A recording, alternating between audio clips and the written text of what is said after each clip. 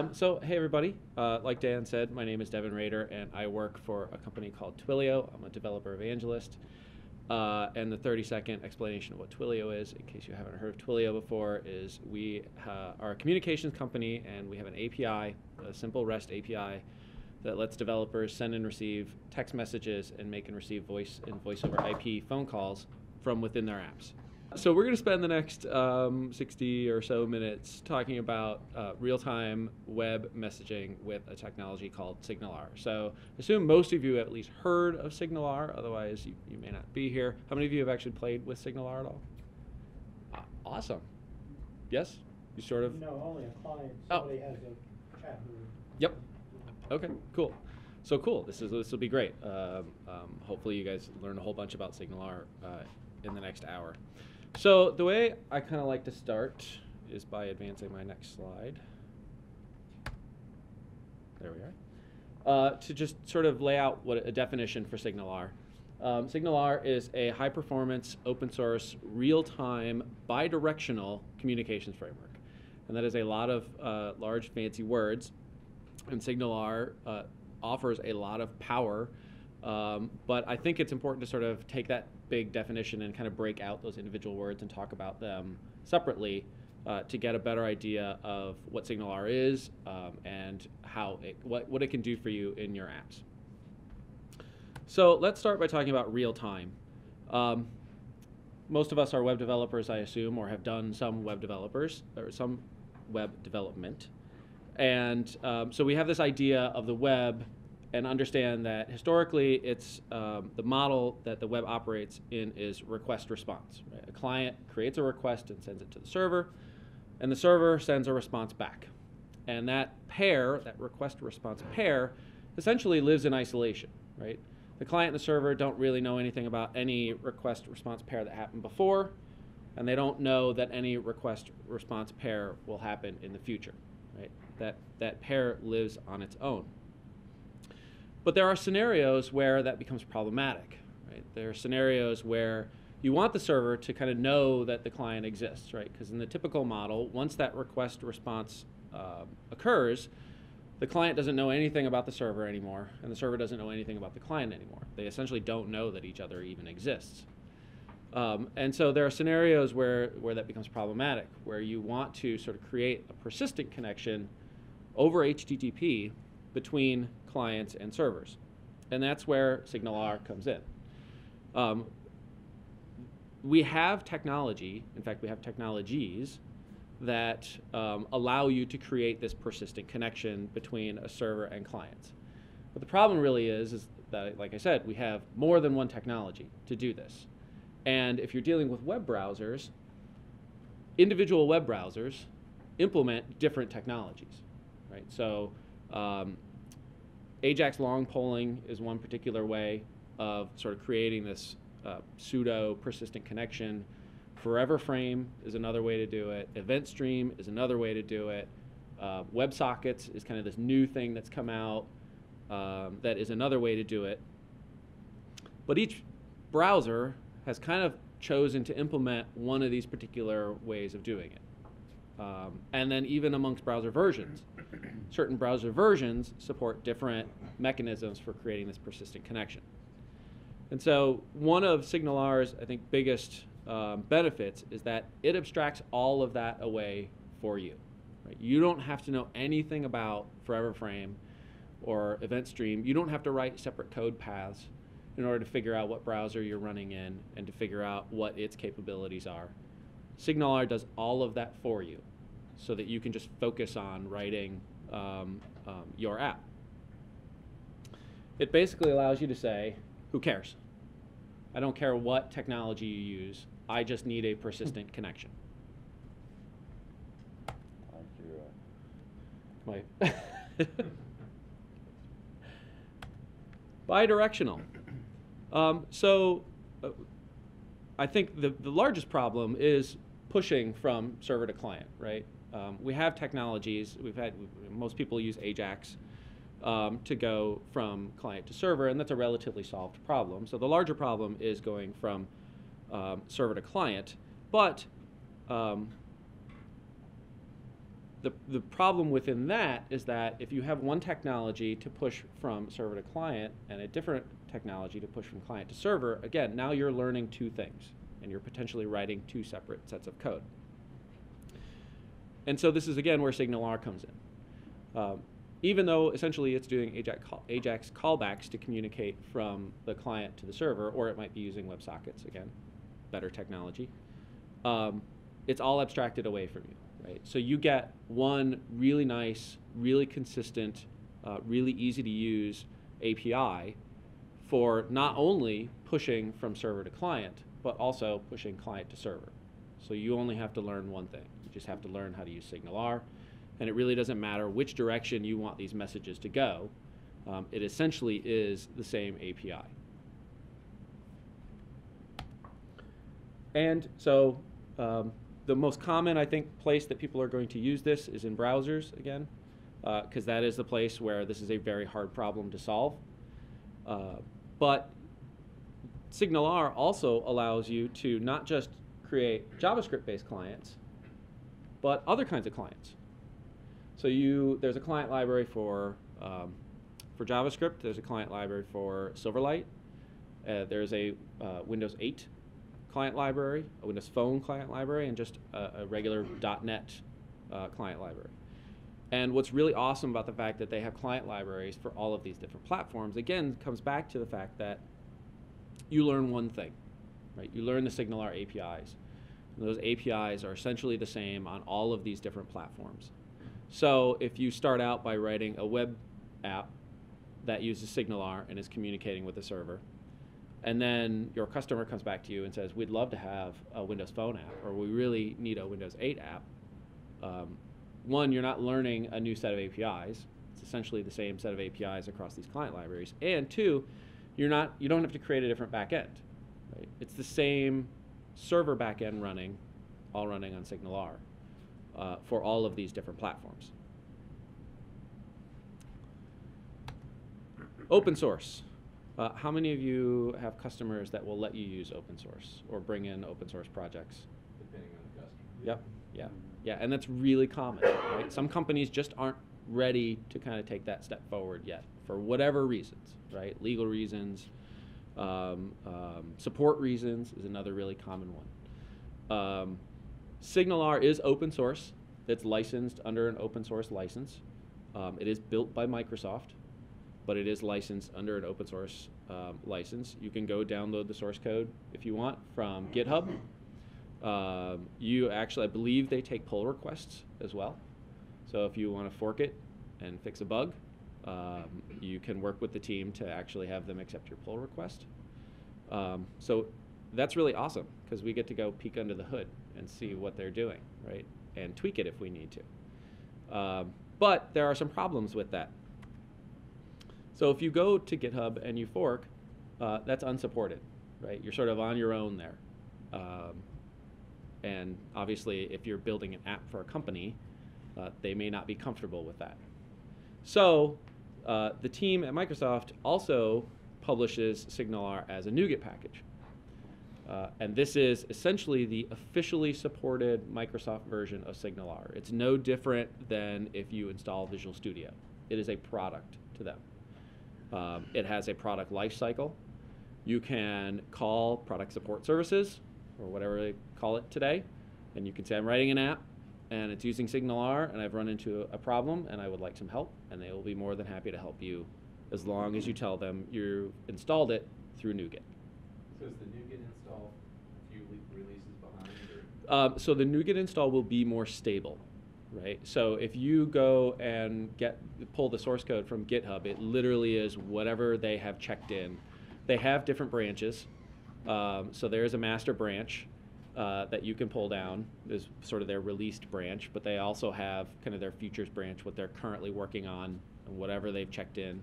Um, so you can sort of do it both ways. But whatever's in NuGet will sort of be the more stable official release version. Uh, and like I said, it is totally supported. Um, a, a, good thing about getting it from Git, uh, GitHub, though, is that if you're doing stuff with Mono, we were just talking about uh, earlier building um, apps using the Xamarin tools, right? Mono, Droid, and MonoTouch. Um, they, the SignalR team has gone ahead and added Mono projects, project files to the GitHub repo.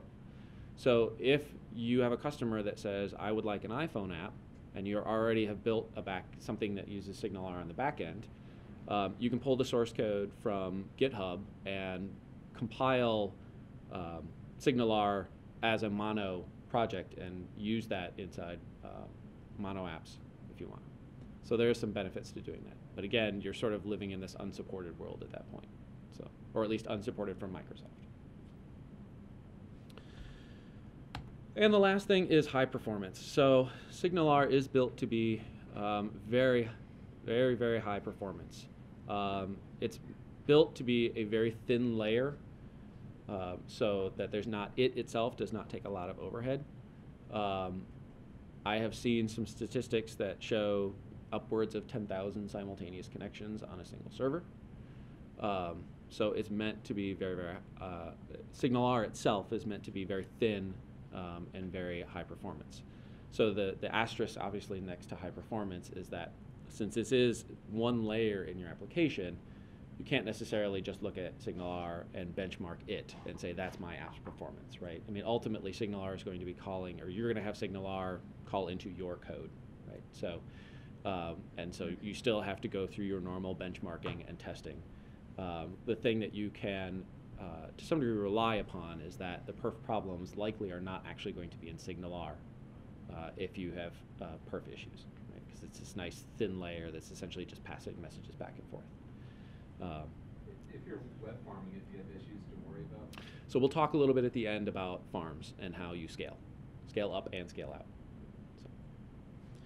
All right. So um, that's kind of an explanation of SignalR. Does anybody have any questions at this point? Awesome. So um, let's jump into a demo. Uh, and this is uh, audience participatory. So I will need your help. Uh, I'll need everybody to get their phones out. Uh, since since I work for Twilio, I wrote a little demo that um, uses your phone uh, and SignalR. All right, so let me jump out of the slides here and go to a couple of browsers that I have open. So this is an app that I wrote uh, that's hosted up on Windows Azure websites. And if you can, go ahead and send a text message to that phone number. It's uh, 954 417 7840. And what's going to happen is, uh, as you guys are sending your text messages, please note that we are recording this for posterity. So anything that you text is going to show up on that screen. So keep it appropriate. Is it toll-free call? This is a, well, uh, depends on your plan, apply. right? Depends on your plan. Uh, let me do this as well. Did people send text messages? Oh, there we go. All right. So starting to see a few roll in here. Cool. Don't mind that. Oh, thank you, Dan. Uh, so, so the thing to note is that I'm not touching my computer, right? I'm not hitting the F5 key. I'm not refreshing the browser. Um, th- these are two different browsers as well. The browser on the left is, uh, excuse me, on the yeah, on the left is Internet Explorer 10. Browser on the right is Chrome, whatever version Chrome is latest. Um, there's no meta refresh in this page, right? So all of these messages are being sent, um, and the page is updating automatically without me having to refresh it or have anything there that's actually refreshing the page, right? And so that's actually SignalR doing some of that work. So I can um, I can go here and I can hit reply on a few of these or all of them. And so now what should happen in a moment um, is your phone should start to ring and buzz. And that's all right, Dan. It's okay. You can answer it. uh, and so now you guys should be able to talk to each other because you're all in a conference call together. Oh, this is wicked cool. Hello. Hello. Hello. And you can say how cool Hey. SignalR is. How cool is this? Wow, this is really cool. Um, and again, so so the, the the thing to point out um, outside of the, the Twilio part is that um, even though I'm clicking these buttons uh, and people's phones are ringing, that there is no form post going on there, right? Um, again, that's sort of the SignalR part of this, where I'm sending messages back from this client um, and making some things happen, right? Yep. there. Okay, so let's look um, back in slides for a second and sort of talk about from a really high level what's going on with that demo.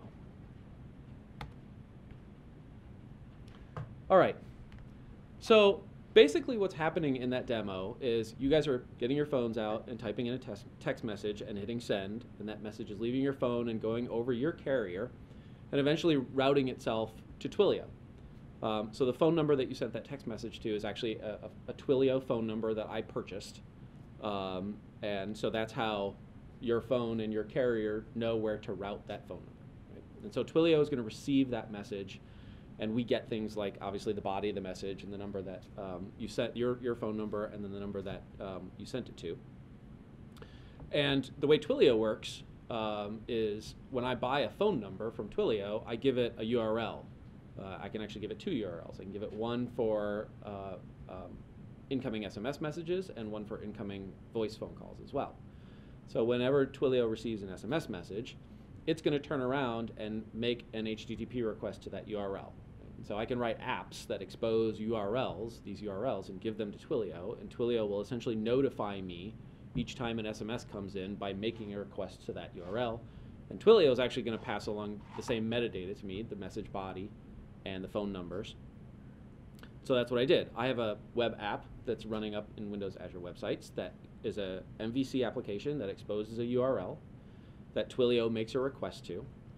And inside my app that I wrote, uh, there's a couple lines of code in there of SignalR code that essentially know how to um, call a method in every single client that's connected. Right. So in this case, I had two clients connected. I had one client running in IE, and I had one client running in Chrome, and there's some JavaScript running in there. And so the code that's running in on the server in my web app knows how to actually call those JavaScript methods that are running inside my clients. And then going back the other way, um, I had buttons on those pages that were added when I got a text message. So when I click that, uh, there's some JavaScript that runs that sends a message through SignalR back up to my web app running in Azure Websites. And there's some code in there that knows how to call Twilio's REST API that says, please initiate an outbound phone call to whatever phone number I hand it um, and make that phone ring. Right? And then it goes over your carrier uh, and your phone rings. So it's pretty straightforward. Um, and to kind of dig into it, let's actually go ahead and build that because it's not very many. It's not very much code. I got a question. Yep. So from, from our client side application, we can initiate a Twilio call, Mhm. but somehow we're gonna need to make some kind of request out from my client to this domain called something something Twilio.com, Yep. right? So how do I get around across domain script? Um, so, well, you're, not making the request. In my case, I'm not making the request from uh, JavaScript. Right. Okay, good, so it's Right. server side. It's server side. I got you, so that makes it easy. Yeah. All right. Yep. Yeah, good. That, that's, that's normally, not normally, that is one of the workarounds that I've had to encounter. Yep. Yeah. uh, In my, uh. Yeah, we have a way to do things in JavaScript, but in this particular demo, uh, you actually can build a phone in the browser, um, and so literally, I could I could make a phone call that terminates at my browser, uh, and I can make outbound phone calls right from my browser. But that's sort of outside the scope of SignalR, and I'm happy to chat with you. Nope, it's all right. Good question. Um, all right, so um, let's go over here to Visual Studio. Cool. So this is Visual Studio 2012, update 2. Um, it doesn't really matter that much that it's update 2. Uh, and it's I have sort of pre-primed uh, some stuff here. I've got a, a ASP.NET uh, MVC4 application already created, and I've done a couple of things here um, that I'll show you guys. So I've already gone ahead and added SignalR through NuGet. Uh, and SignalR adds a whole bunch of other kind of dependent libraries. The other thing I've done is I've added uh, Twilio right here. So we have a library that's available through NuGet as well that essentially just wraps our REST API, makes it a little easier to, to consume the REST API. And you can see what happens when I add those things. There's all kinds of ASP.NET stuff that happens um, and gets added. Um, oh, one thing I want to show in here is um, where is it? This assembly, this Microsoft.OWIN.host.system.web. Does anybody know what OWIN is? So OWIN is, a, is kind of a cool technology. I'll just talk real briefly about it. Um, so in the scope of SignalR, um, why OWIN is there is because SignalR actually uh, can be uh, runs on its own stack, right? So it actually isn't built on like ASP.NET MVC. Um, and why that's interesting is that means you can self-host uh, ASP. or self-host SignalR servers and clients. So if you don't want to have a SignalR server that's running in ASP or in IIS, you can self-host in whatever kind of server you want, right? So it's a lot like Web API, which also um, uh, offers that same capability. You don't have to run it in IIS if you don't want to. You can come up with your own server. So OWIN is is a, um, kind of a shim um, that lets me do that. Um, and if you have a chance, go look up OWIN. It's it's kind of an interesting. Um, is anybody familiar with Ruby on Rails and Rack? I don't know if you guys are Ruby guys. Um, it's really similar to that, where essentially what OWIN does is um, it allows you to have loose couplings between the web server and the web stack. Uh, and um, OWIN essentially defines a set of uniform interfaces uh, between the web server and the web stack, which in most cases is ASP.NET. Um, but since it's interfaces, anything can implement those interfaces either on the server side or on the web stack side. And so it becomes a lot more interchangeable, unlike today where ASP.NET is essentially um, tied at the hip to IIS. So it's kind of a cool um, technology that, that they're working on. Um, all right, so I added those couple of NuGet packages. The only other thing I've done, well, there's a couple other things I've done. I have a couple of controllers here. Home controller, which just loads um, the web page that you guys saw. Are those, sorry, Yep. are those interfaces you were talking about, are those gonna be native to the next version of IIS? I, I don't know. There, there's a there's a project called Katana, um, which is sort of an implementation of the OWIN spec that you can go that is being written by Microsoft or at least contributed to by Microsoft that you can go look at. So. Um, so home controller is basically a default controller. Phone controller is a controller that we'll use to handle the communication to and from Twilio, right? So when Twilio makes its request, um, phone controller is the endpoint that it will have it hit, and then um, um, uh, when there's one other thing which I can't remember off the top of my head what we do with it. Uh, right now, it's empty. And then lastly, down here in global ASAX, I had to add one line. This line right here, route hubs. So, um, oh, let me show you one other thing real quick. So in addition to the assemblies that got added, when I added the SignalR package from NuGet, it also added this JavaScript file. Right. Away. Um, so the way that SignalR works is um, when I'm using the JavaScript uh, client library, uh, I need to know, I need to have some representation of what's available on the server on the client, right? And so um, SignalR will create a JavaScript proxy uh, dynamically for me uh, that I can request in my HTML page, and then I can use that through JavaScript. Right. So that's how you'll see in a minute. That's how I know what methods are available on the server, and that's how the server knows what methods it can call on the client. Um, well, so the way that, that that proxy gets created is I have to request, I have to make a request to the server, um, and that means that in MVC I need to create an endpoint to make that request to, and that's what's going on here. Essentially, uh, this method looks and finds um, anything that's derived from hub, which we'll create in a second, and um, it knows that that then is a signal. It knows it needs to include that in this little proxy object that it's going to create. Right? You're using OWIN to host your endpoint, it sounds like. So OWIN is sort of under the covers. Um, OWIN essentially you can think of as the thing that allows me to self-host this if I want to. But sort of above above OWIN, everything else is straightforward ASP.NET, just as you always would use it, right? So really OWIN is only sort of interesting in that self-host case. This is literally um, no different than me going and, and adding my own route to the route table in MVC by default. Right? It's just that it's doing some reflection to figure out what it needs to add. All right, so let's go add a little bit of code here. Uh, the first thing I want to do is create my hub. And so I, I added this little hubs folder here. I don't have to use a hubs folder. It's, I add that just to keep it my project kind of nice and clean. And I'm going to go ahead and add a SignalR hub class. And we'll call it message. And then I'm going to promptly go and replace everything that's in here. And that's it.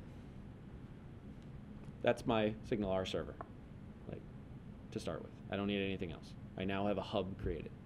So, um, like I said, you can think of the hub as sort of the thing on the server that allows the client to know what it can call.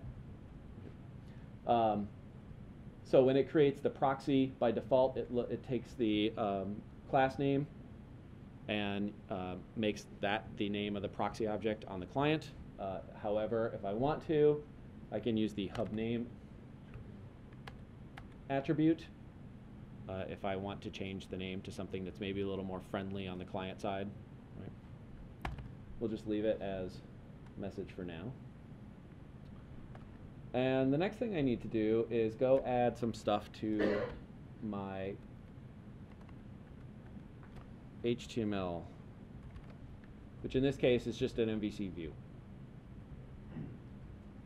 This guy called index, and we'll add this chunk of code here. Okay, so if you're familiar with MVC, this should look pretty straightforward to you. It's a script section, uh, which lets me inject scripts into the right place into the page uh, when the page gets rendered. Um, and there's a couple things going on here. The first thing is you'll see that I've added that JavaScript library that SignalR or that NuGet added to my project. This is uh, essentially the core parts of the SignalR client-side library. Right? This is all the infrastructure that SignalR needs in order to know how to connect, create this persistent connection between my client and my server to figure out what the capabilities of the client are, to figure out what the capabilities of the server are, because different servers have different capabilities. All of that stuff uh, is in here. This second script reference is this call to uh, SignalR running on my server in order to get that proxy object, right? So this is the endpoint that was added uh, when I mapped the route in the global ASAX, right? And so by calling this, that's going to send back this proxy object to me uh, that I use to then manipulate and call methods. And then the last bit down here is um, this is just a jQuery, you know, document ready function. And inside there, the first thing I'm going to do is turn on logging on my hub because it makes it a little easier for me to kind of figure out what's going on. Um, and then I call start. So calling start actually is what kicks off the process of SignalR going out and figuring out how do I create this connection between the client and the server.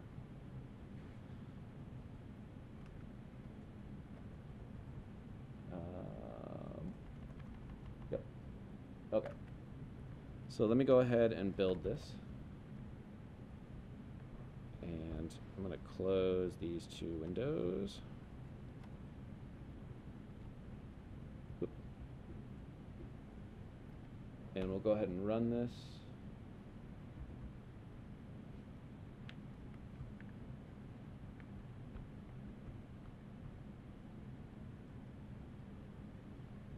And so this is Chrome again.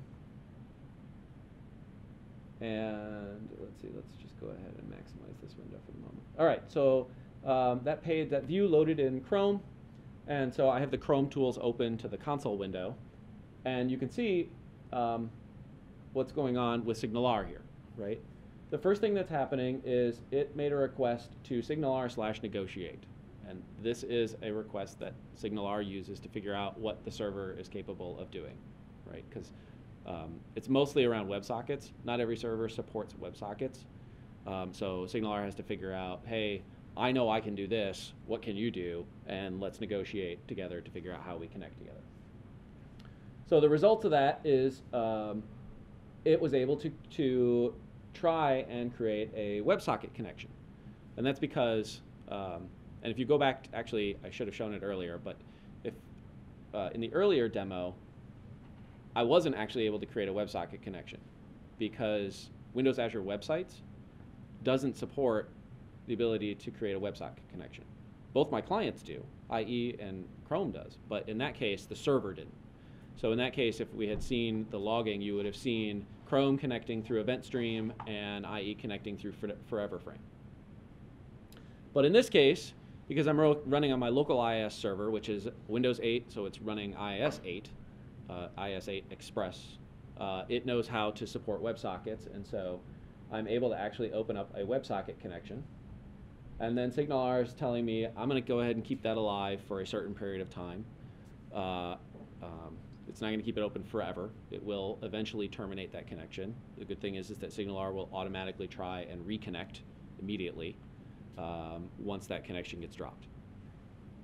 But that's it.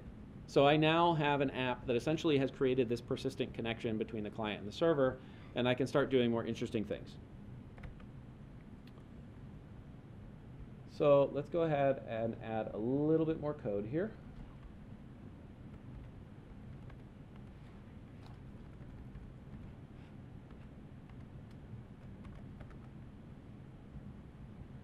All right. Okay. So I added a little bit more client code uh, to my view. This line here is basically getting a reference to my hub, right? Remember my hub on the server is named message, and I said when I get this proxy object back, it's just going to get the class name and create the proxy class or proxy object out of that. And so that's what I'm doing here. I'm asking the connection to give me a reference to the proxy version of my message hub. Does it camel case the types? It does automatically. Yep, it does automatically.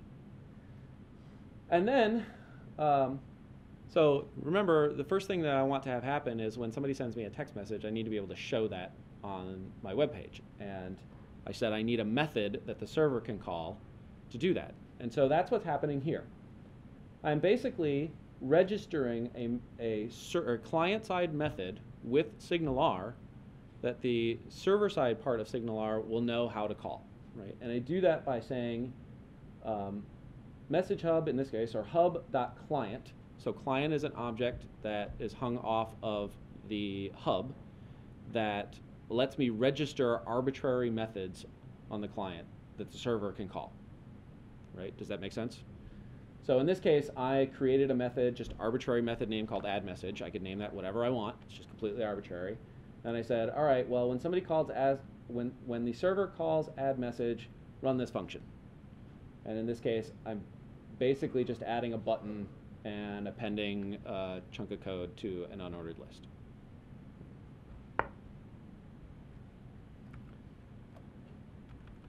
So that's the client side code, all two, really two lines of it, three maybe.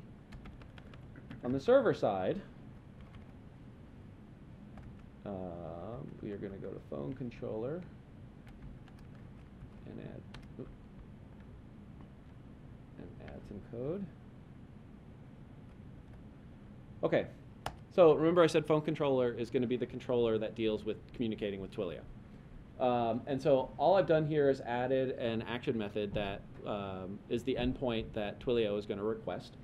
And um, I'm, again, it will send along the number that uh, sent the text message and then the body of the text message, which this is just MVC uh, model binding, nothing fancy going on there. But inside this method is a couple of lines that are interesting. So the first thing I do, uh, again, what I want to be able to do is somebody sends a text message, Twilio makes that request. I need to be able to know to, to call the method on the client, and that's what's happening here. So in order to do that, I use this global host object to get a hub context, right? So all of this is happening on my server, but I need a me- I need some kind of reference to this hub that I created in my project, and that's how I get this. So I call get hub context and pass in the name of the hub that I want the context of. And once I have that context, uh, I can start um, calling methods on the clients that are connected. So in this case, again, I'm doing context.clients um, all, which would be every client that's connected to this hub, call the add message method and pass in the parameters. And that's it. So really two lines of server code. And um, uh, yeah, that's it. All right. So now let's run this.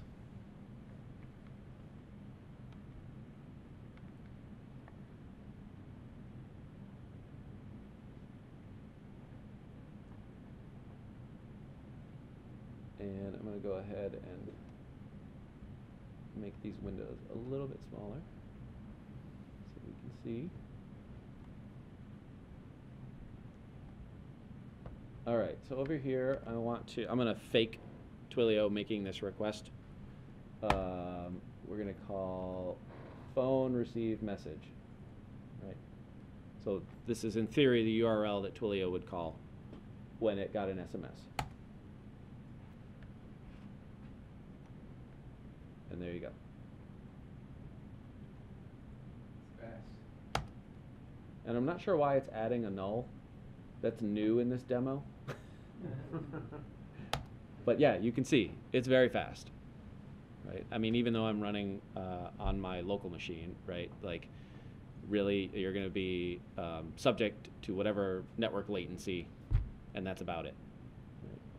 Um, and I wrote how many lines of code? Again, maybe 10 lines of code total to do bidirectional communication.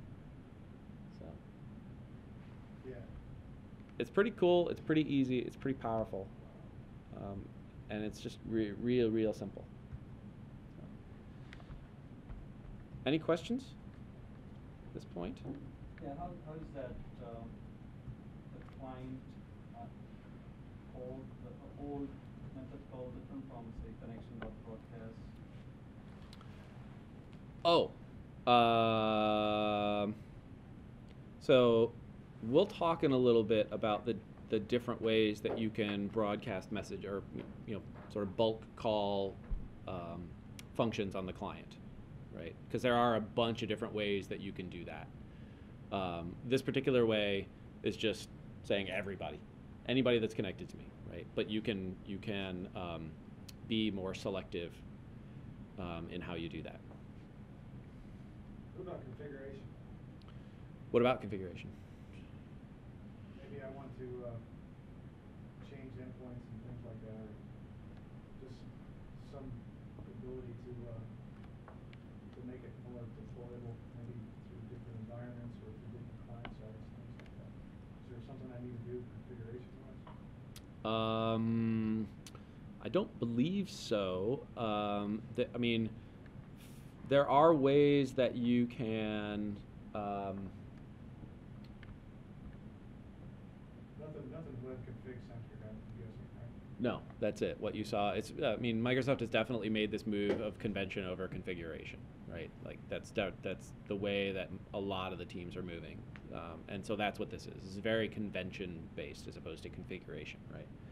Um, I mean, there's just not a whole lot to configure, right? Uh, you can configure this URL um, if for some reason you don't want this to be the URL that you've that that calls to get the proxy object. Um, there are um, there are overrides on the hub. Uh, let's see, where's my hub? Uh, there are some overrides here for. ah, sorry. Uh, for things like on connected, on disconnected, on reconnected, right? So you can you can sort of inject some code. Say you want to do something every time a client connects, um, you can do that here, uh, or disconnects, right? You want to you want to note that in the database or something like that, so that you can force some workflow to happen when they disconnect, kind of thing. Um, but I, I mean, it's just it's so simple.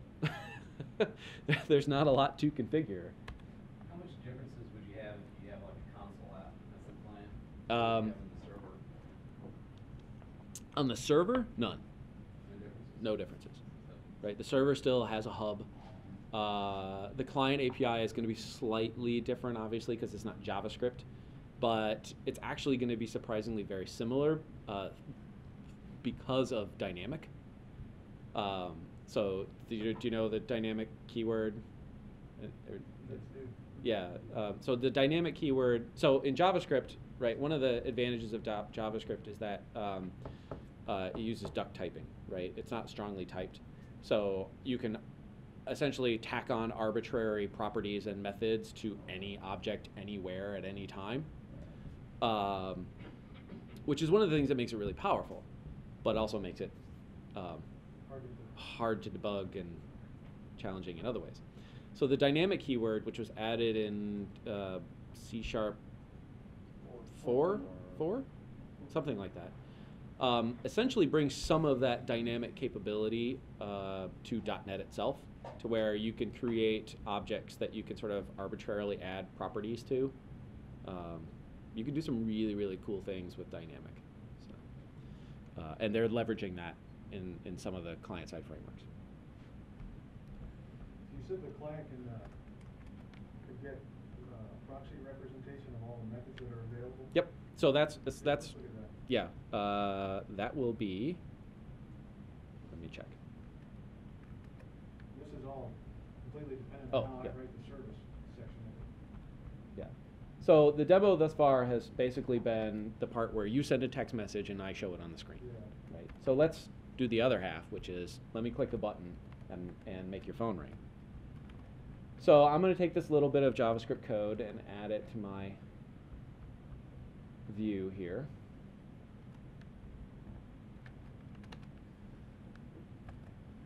So this is just a JavaScript function called send reply message, and you'll notice that in the button that I added earlier, I already have the click handler being wired up to call send reply message, right?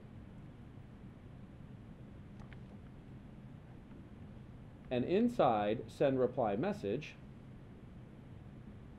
is this reference to my hub, right? Which I captured earlier and turned into a global variable. And so there, I'm saying hub.server. So like client is this object that lets you, that essentially tracks all of the client side functions that I want the server to be able to call.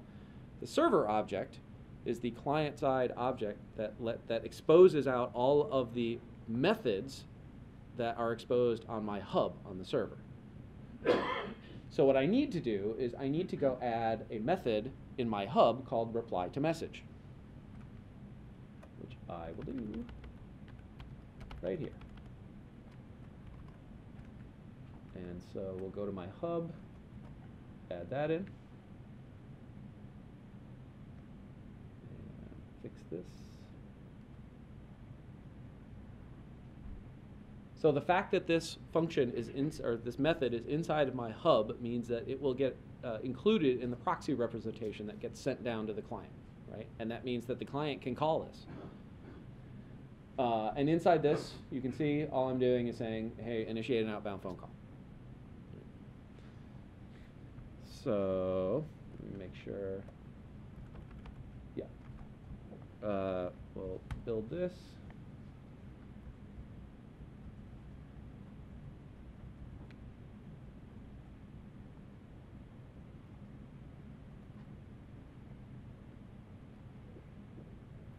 And we'll, let me take this window here. There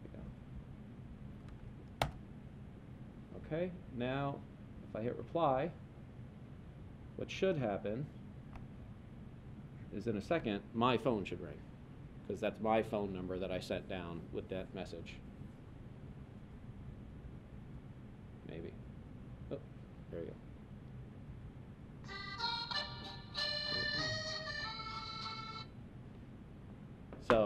Click this button, we flip back over to Visual Studio.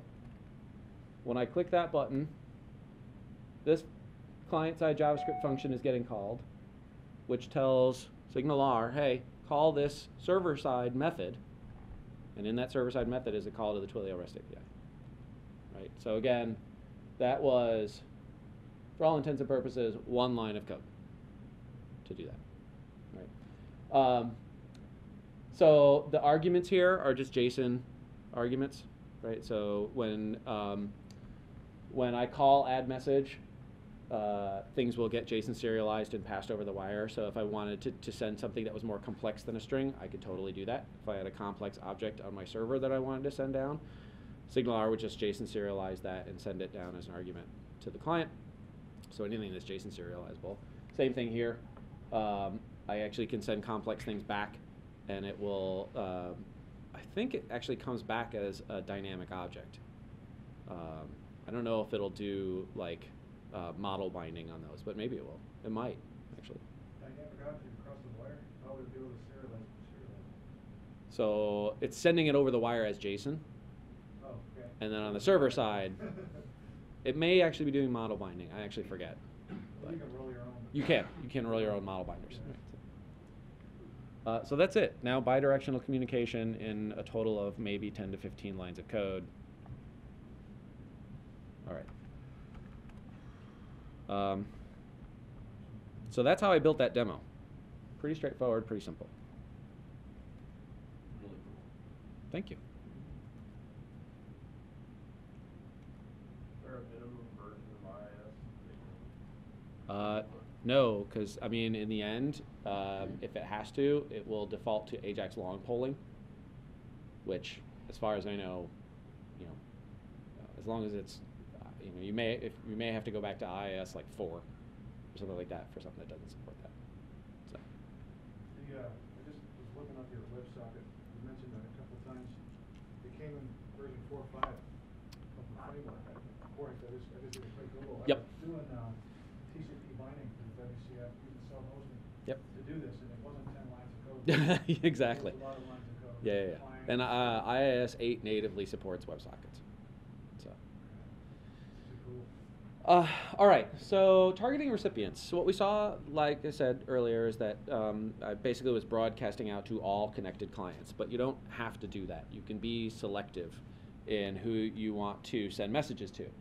So sometimes you want to only send messages to a group and exclude certain people, right?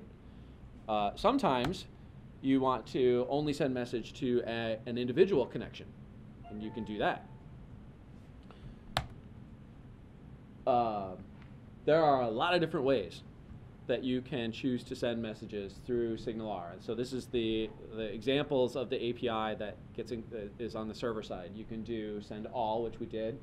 Others, all except the caller, which is really cool. So when i in that example, it would be if client X makes a request to me, I can respond to that specific caller, right? Um, to groups. We'll look at groups in a second. So it's really trivial to, trivial to create groups.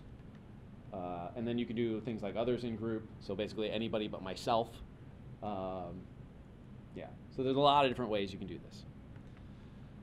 Uh, so let's look at a demo of that quickly. So I'm gonna take my demo here, if I can find my mouse pointer, and um, down here. We're going to add a little bit of HTML. Yep, thank you. To my view. Right here. So this is just um, an input button, or sorry, an input field and a button, and then a span below there. So what I'm going to do is I'm going to allow uh, the person who loads that web page to specify what group they belong to. And then here's the client-side code that goes with that HTML.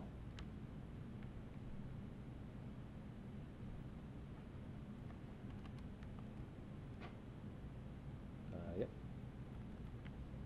Uh, so quickly looking at this, this code, um, this is the click handler for the button that I just added. And all it's going to do is it's going to call a server-side method called join, which is just a method that I will make here in a second, uh, and pass a name, right? And so the last thing I need to do is go create this join method in my hub.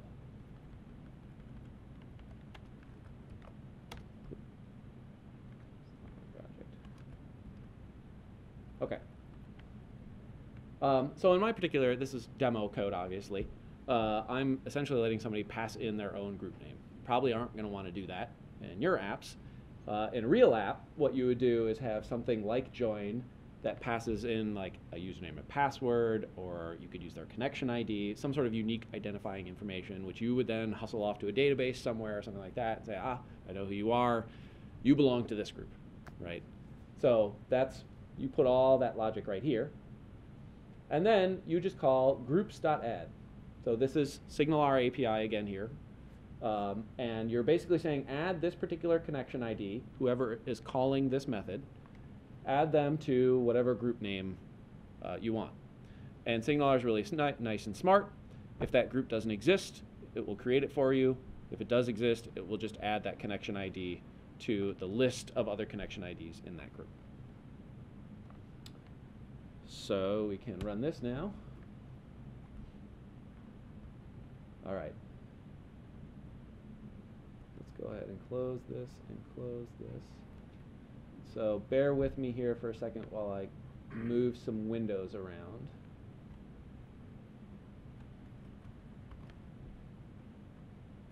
Because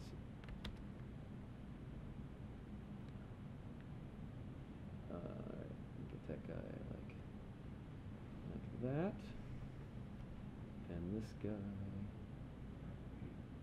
like that. And should we try and fit one more? I like to do three.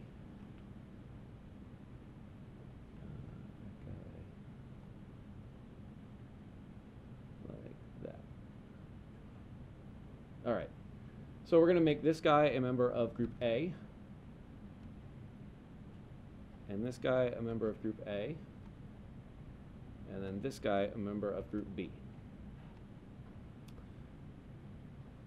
So remember what's happening here is there's JavaScript code that's making a request to my join method, and then my join method is essentially saying, here, you're a member of this group. So now if I go over here and I,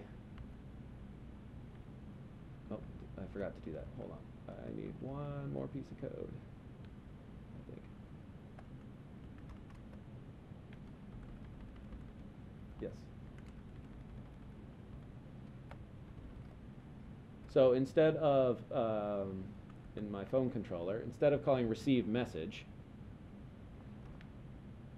I need a way to broadcast to, or to um, restrict to a specific group, right?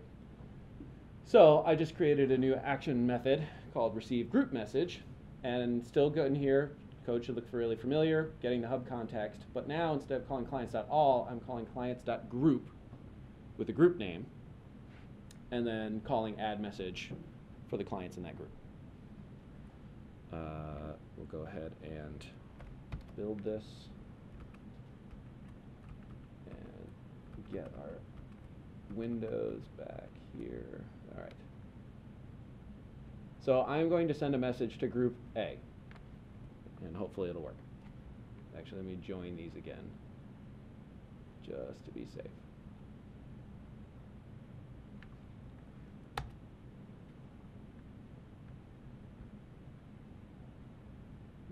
Oh, okay, cool.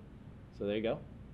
You said in group A, here's you said member of group A. But if I scroll down here in B, you didn't say anything. So if I go up here and I change this to foo for group B, now, ah, how did I do that? Oh, body. There we go. Now group group B gets foo and nobody else does. Right? So that's how you can create groups really, really easy. Like two lines of code. Does it support group hierarchies?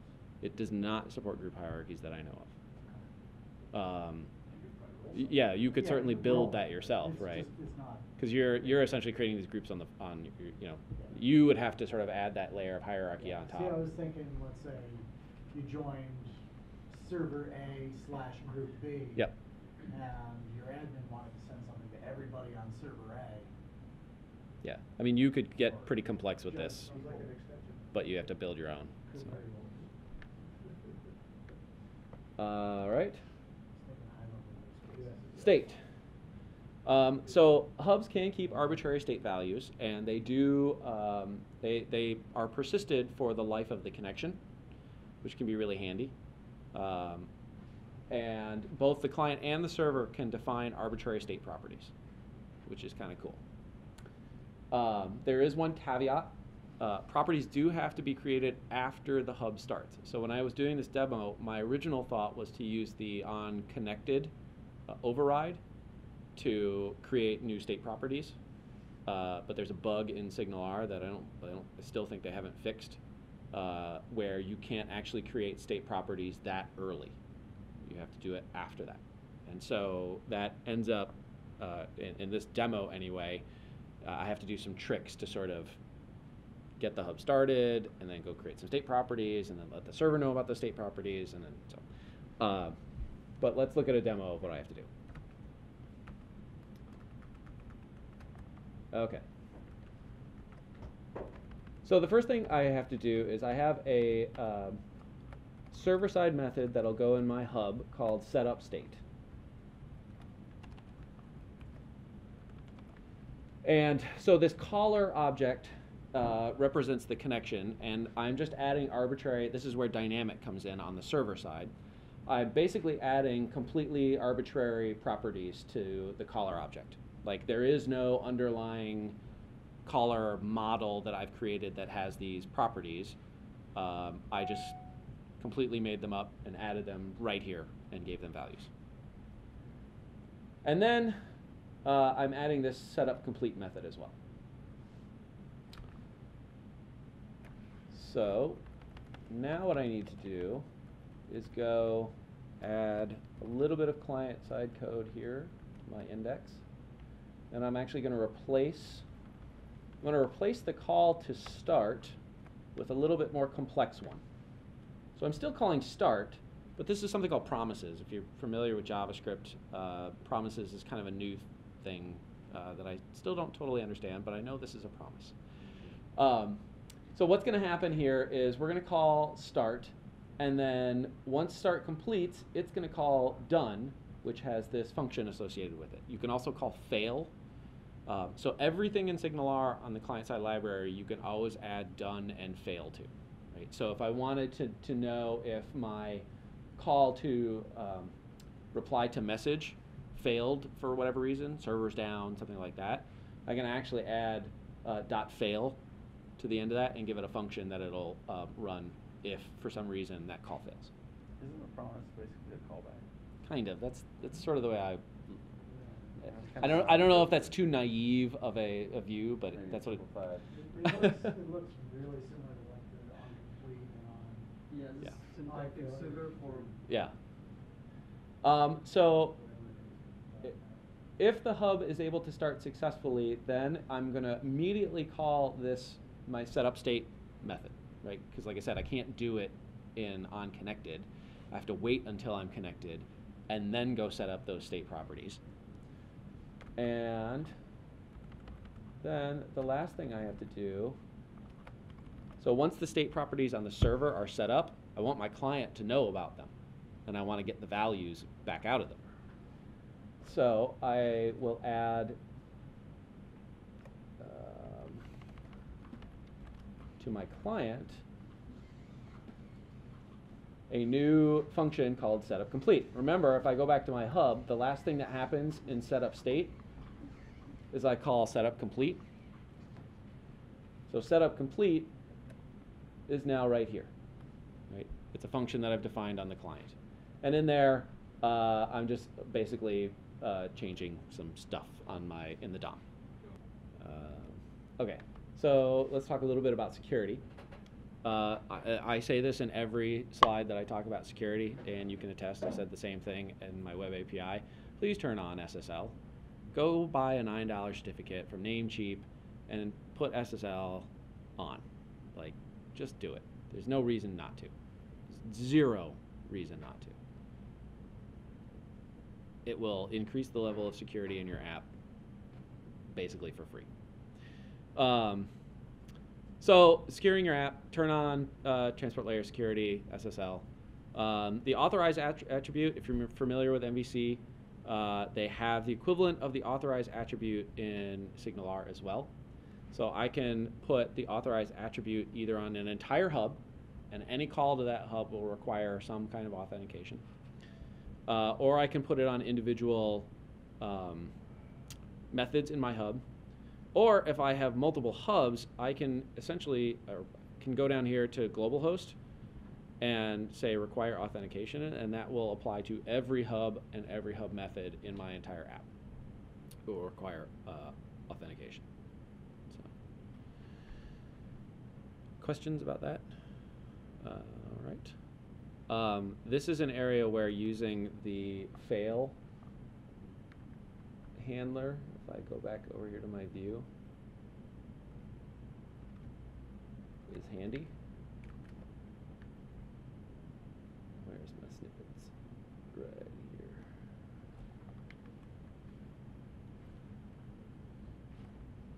Mhm.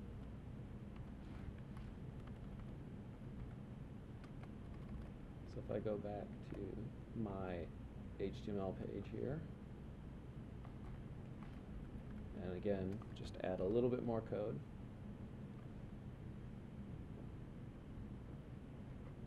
So here I'm saying when it's done, try this. Otherwise, if it failed, then just pop up a JavaScript alert, right?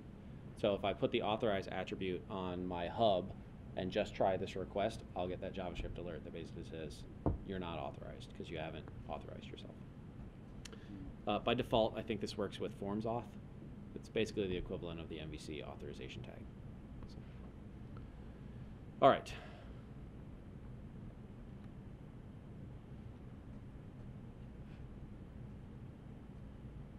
Let's talk about scaling, and this will be the last thing.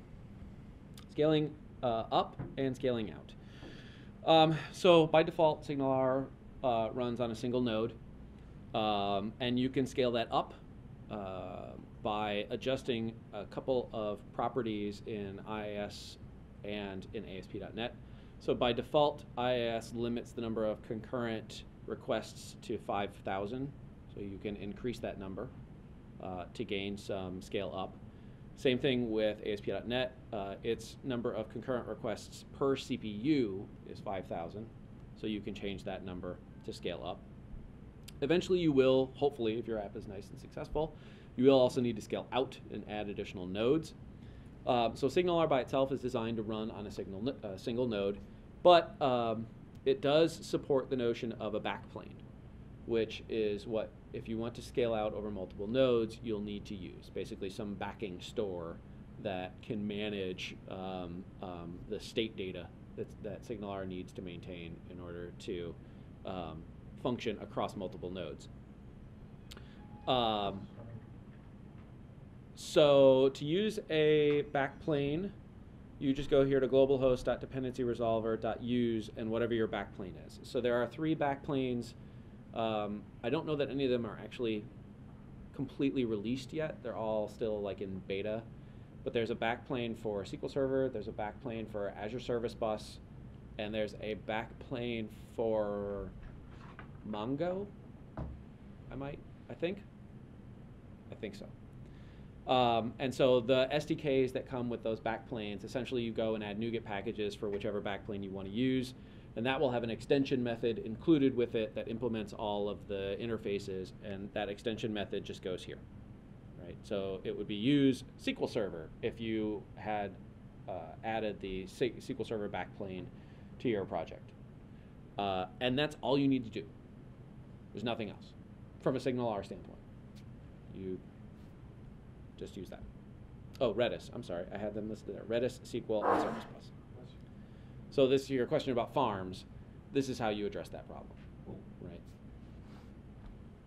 Uh, and like I said, um, you still need to do perf testing. Um, the SignalR wiki has a nice uh, long list of the recommended performance counters to be looking at when you're doing performance testing. Uh, and then they also have something called Crank, which you can is in the GitHub repository. You have to pull the source code and build it yourself. But Crank is a load testing tool that they built that will simulate um, large numbers of connections to your server, so you can do some level of perf testing. Um, there's another tool called Flywheel, which is um, it's less about load testing and sort of more about uh, like um, UI testing kind of stuff.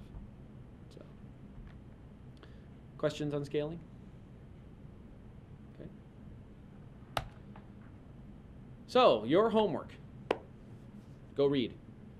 Uh, there's lots and lots and lots of information. The SignalR website, uh, Microsoft, since SignalR went 1.0, uh, which actually was very recent, they've added some content to uh, ASP.NET, the ASP.NET website, uh, that sort of walks you through some of the intro stuff.